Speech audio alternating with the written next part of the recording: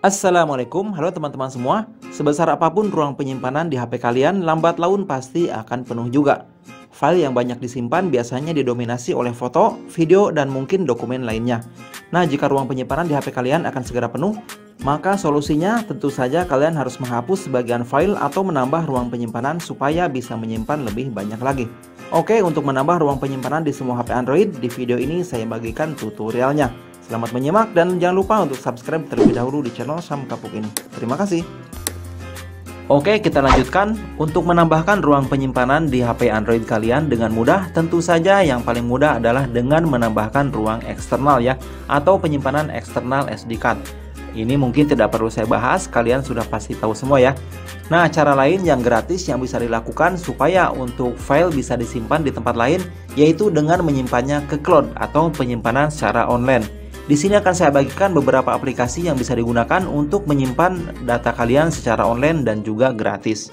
Oke, yang pertama adalah menggunakan aplikasi Mediafire. Aplikasi ini gratis, bisa kalian download di Play Store ataupun pada link yang ada di deskripsi video saya. Nantinya untuk file yang berukuran besar yang ada di HP kalian, tinggal pindahkan saja ke aplikasi Mediafire ini. Aplikasi ini menyediakan penyimpanan secara gratis sebanyak 12 GB. Wow, mantap sekali ya. Jadi kalau ada file besar tinggal kalian simpan saja di aplikasi Mediafire. Tentu saja ini memerlukan kuota internet ya. Kalian bisa menggunakan WiFi ataupun data seluler. Cara untuk menyimpan filenya sangat gampang. Di aplikasi ini tinggal kalian klik saja tombol upload.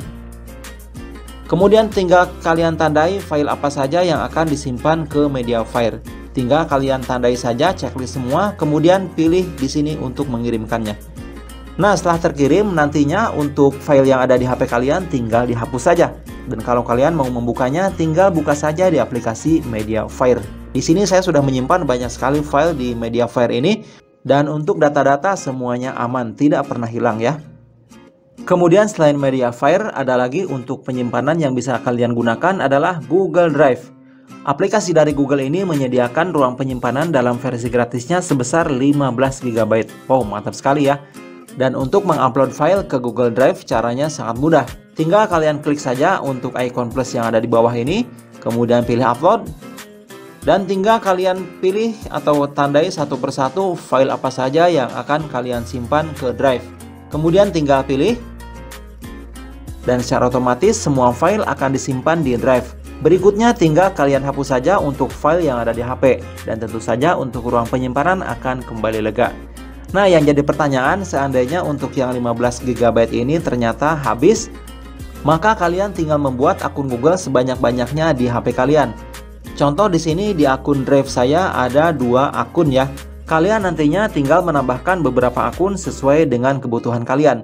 Jadi kalau satu akun misalnya 15 GB, kalau empat akun ya menjadi 60 GB.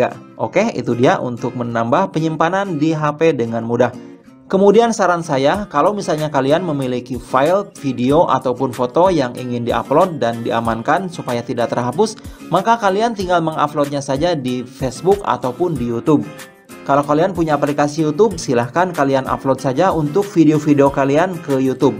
Dan tentu saja untuk privasinya kalian buat menjadi pribadi ya. Contoh saya misalnya mengupload satu video ini. Kemudian untuk privasinya kita gunakan yang pribadi. Nah, ada pribadi, publik, dan tidak publik. Pilih saja yang pribadi, kemudian tinggal kalian pilih berikutnya dan pilih upload. Maka untuk video kalian akan tersimpan dengan aman selamanya di YouTube ya. Walaupun ukurannya sangat besar, tetapi untuk file akan tetap tersimpan. Oke teman-teman, itu dia untuk video tutorial pada kesempatan kali ini. Semoga bermanfaat dan terima kasih banyak sudah menonton. Jangan lupa untuk subscribe, like, komen, dan membagikan video ini di media sosial. Wassalamualaikum warahmatullahi wabarakatuh.